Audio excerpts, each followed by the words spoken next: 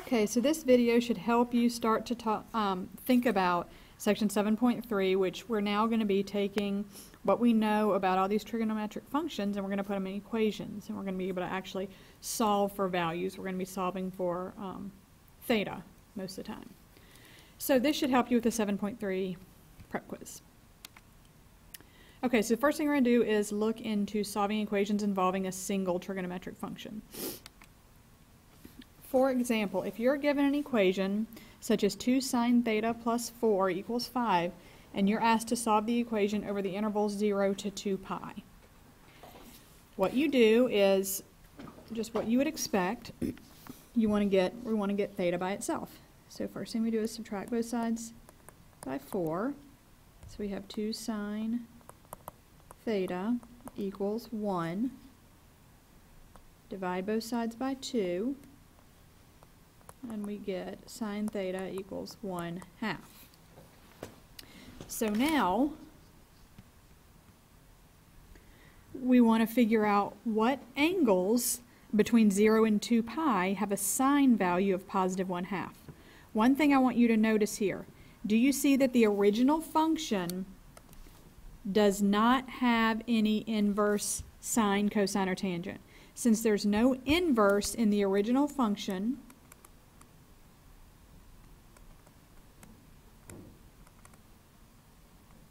then we don't have to worry about restricted domain.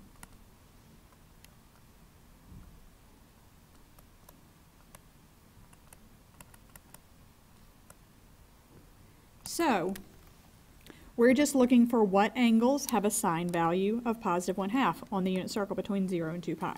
And if we think about that, positive sine is positive in quadrants 1 and 2, and the sine is the y value on the unit circle. So if we see the y value in the unit circle is 1 half at pi over 6 and also at 5 pi over 6. Okay, so here's what we're going to do. So our angle, theta, is going to be pi over 6 and 5 pi over 6. And that is between 0 and 2 pi. If we rotate around the unit circle a second time, then we will hit, what is that, 13 pi over 6?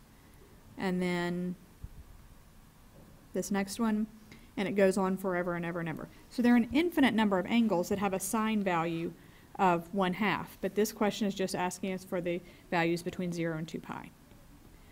So this brings us to this next problem that instead of asking us for the angles between 0 and 2 pi, they're asking us for a general formula for all of the solutions. So our, we're going to have a little bit different approach here. So, first thing we're going to do is look at this equation. There's no inverse cosine in the original function, so we don't have to worry about restricted domain. So this one is pretty simple. It's already kind of solved, or cosine theta is already um, isolated. So we're looking for what angles between, or what angles have a cosine value of negative root 2 over 2, which some of you may call this negative 1 over root 2. And if we look on our unit circle, remember cosine is the x value. The cosine um, is negative in quadrants 2 and 3. So the x value is negative root 2 over 2 at 3 pi over 4 and at 5 pi over 4. Okay, so those are the values between 0 and 2 pi. But this question is asking us for a general formula for all of the solutions. So the way we write our general formula is that we say theta is equal to 3 pi over 4 plus 2 pi k. And theta is equal to 5 pi over 4 plus 2 pi k. What that means is 3 pi over 4 plus 2 pi k basically means that theta is equal to 3 pi over 4, which we know that, and then, remember, k is any integer. So we're going to rotate 2 pi around the unit circle. Of k, so if k is equal to 0, our answer is going to be 3 pi over 4. When k equals 1, it's going to be 3 pi over 4 plus 2 pi, which lands us there again. When k equals 2, it's going to be 3 pi over 4 plus 4 pi, which is a, two rotations around the unit circle. Still lands there. So all of these angles have a cosine value of negative root 2 over 2. Same thing for 5 pi over 4. So this is our general formula. Now they want us to list all the solutions for k equals 0, k equals 1, and k equals 2. So when k equals 0, our theta values are going to be 3 pi over 4 plus 2 pi times 0, which is 0. So 3 pi over 4, and then same thing for this one, 5 pi over 4. When k equals 1, theta is going to be 3 pi over 4 plus 2 pi, which is going to be 3 pi over 4 plus 8 pi over 4, which gives us, what is that, 12 pi over 4? Which is 3 pi. And then we'll also have theta equals 5 pi over 4 plus 2 pi. So that's going to give us 5 pi over 4 plus 8 pi over 4, which is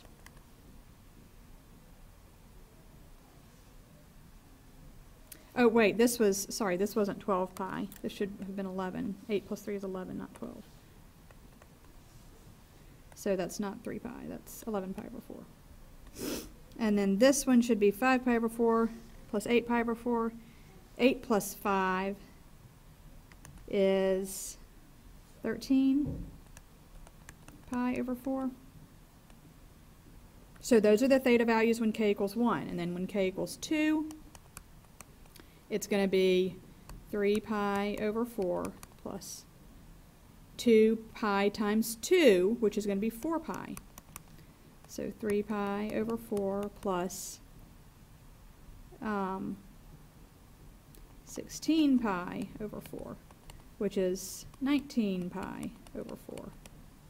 And then 5 pi over 4 plus 16 pi over 4 is equal to 21 pi over 4. So those are our solutions for k equals 0, 1, and 2. I know that gets kind of tedious, but um, it's pretty straightforward. It's just a matter of keeping straight with those numbers. Okay, so this brings us to a problem like this. If you're asked to find the, um, we just have to solve this between 0 and 2 pi. And we're asked to solve 4 cosine squared theta equals 1. Again, first step, divide both sides by 4. So we get cosine squared theta equals 1 fourth. Now to get cosine by itself, we need to take the square root of both sides.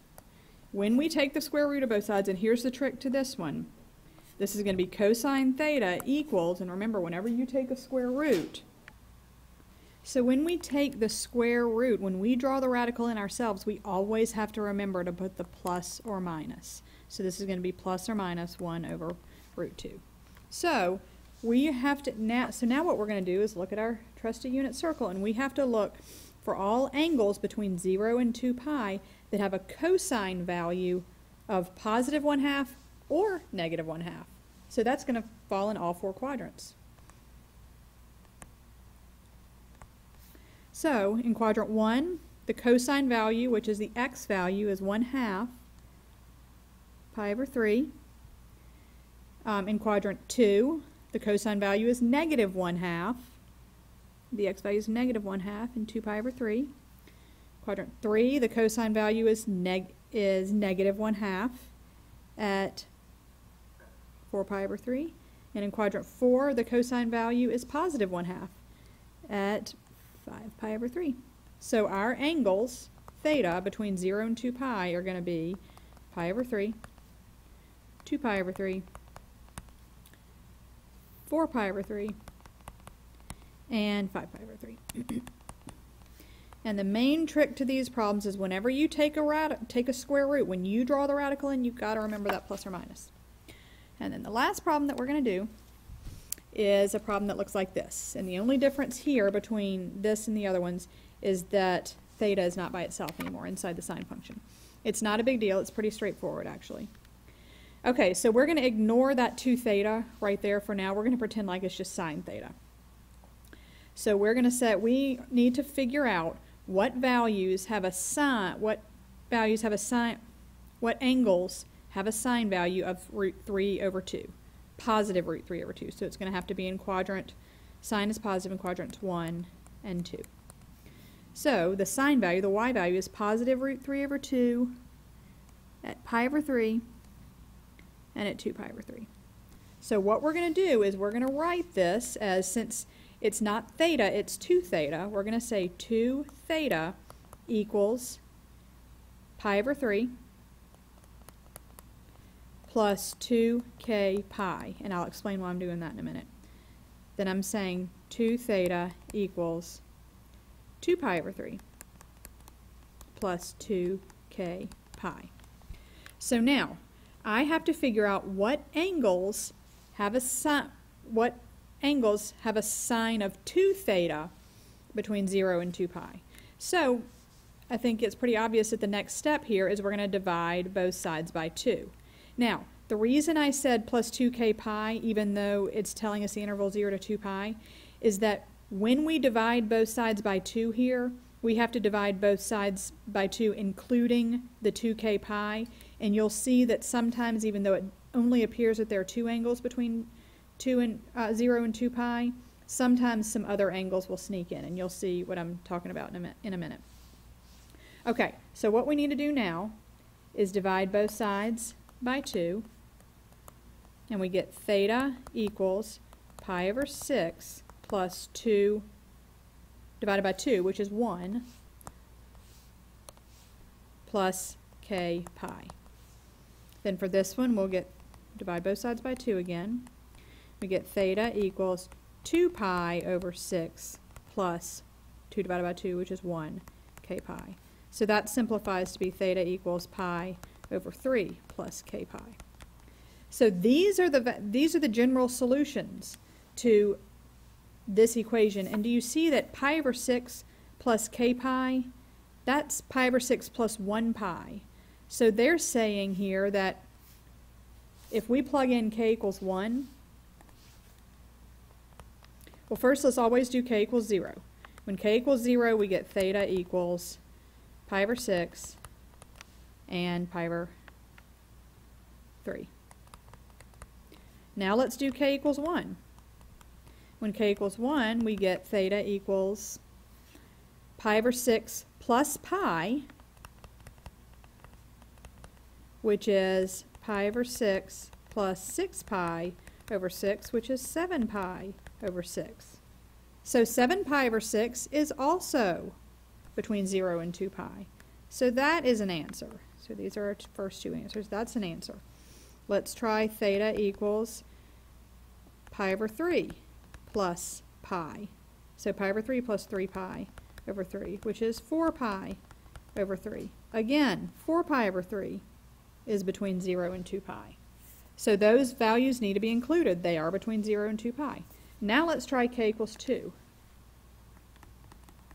So when k equals 2, we're going to say pi over 6 plus 2 pi. Well, pi over 6 plus 2 pi, hopefully you can see right here that if you start at pi over 6 and you add 2 pi, we're going to be over 2 pi immediately. So we know that's not going to work, but we can try it anyway. Pi over 6 plus 12 pi over 6 gives us 13 pi over 6. And we know 13 pi over 6 is over 2 pi. So we know we can stop there. So our solutions are the circled ones, pi over 6, pi over 3, 7 pi over 6, and 4 pi over 3. So you have to be careful about that just because sometimes it can appear that values are outside of 2 pi when they really are. Some, some kind of sneak in. So I hope this helps.